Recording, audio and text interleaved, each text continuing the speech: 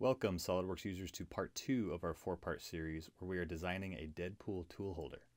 No better place to hold our sharp tools than the regenerating degenerate's head. In this part of the series we'll begin manipulating the bust, scaling it to the desired size and simplifying the top surfaces of the head a bit. Let's first sketch on the front plane and draw a construction line to measure the current height of the bust.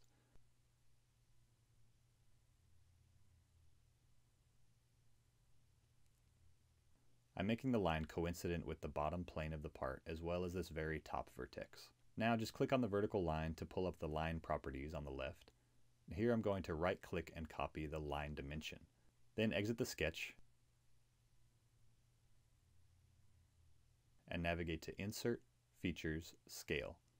Let's scale this around the origin in all three X, Y, and Z directions, so keep the uniform scaling option on.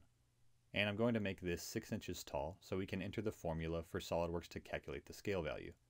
The number 6 followed by a forward slash, which is the divide symbol, and I hit Control P to paste the number we just copied from the previous sketch, and hit the green check mark to scale the part.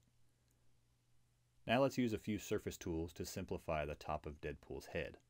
Remember, when we imported this mesh, SOLIDWORKS converted all of the facets into individual surfaces, so the top of the head is made up of hundreds of surfaces. I want to be able to reference the top of the head for some extrude operations later, so I'm going to replace these hundreds of surfaces with just two surfaces. Let's first sketch on the right plane and draw a solid line that extends past both sides of the head.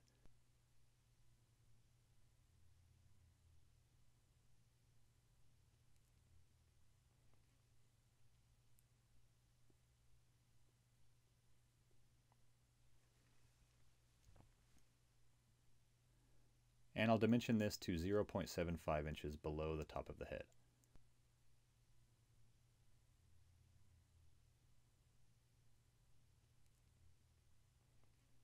Exit the sketch, then navigate to Reference Geometry Plane.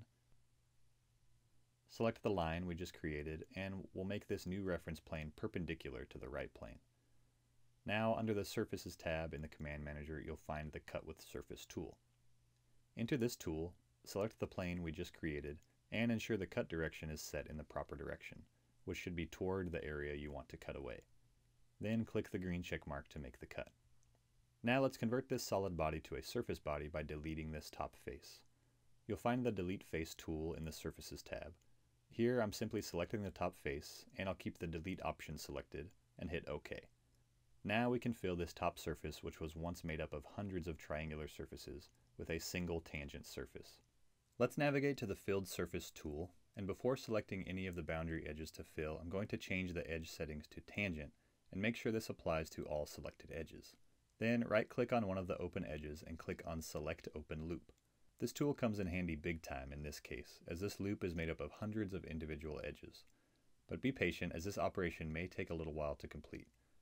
Once all of the edges are selected, you may get this warning that the surface may not satisfy the tangency constraint you selected, but click OK to attempt the surface creation anyways.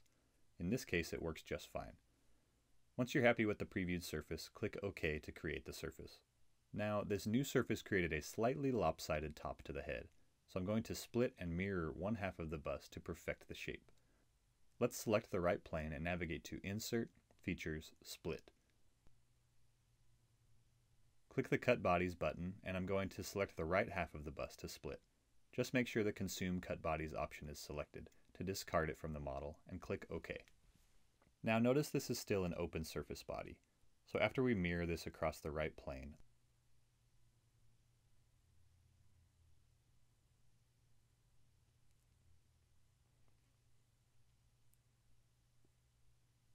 let's navigate to the Knit Surface tool found in the Surfaces tab of the Command Manager. Here I'm simply selecting both surfaces then select the Merge Entities and Create Solid options, and click OK. We now have our model back to a solid, and the top of the head has been simplified to contain only two mirrored surfaces. Now let's wrap up part two of the series by creating several reference planes, which we'll use to sketch from in the final two parts of the series. Sketching on the front plane, I'm just creating a bunch of construction lines. I'll create a horizontal line coincident with the top of the head, and then a few randomly angled lines, one on each side of the head.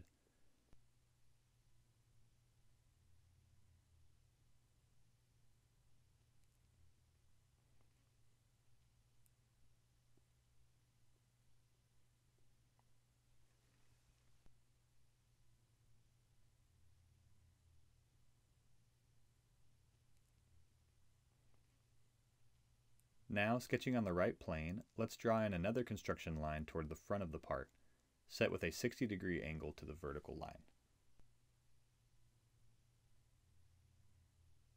Exit this second sketch and navigate to Reference Geometry, Plane.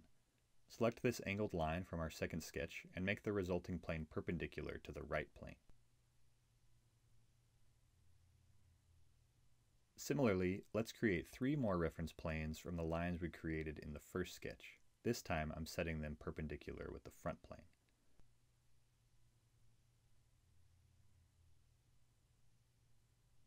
Okay, this concludes part two of this series. In part three of the series, we'll start adding the holes in the top of Deadpool's head, designed to hold our various sharp tools. Stay tuned.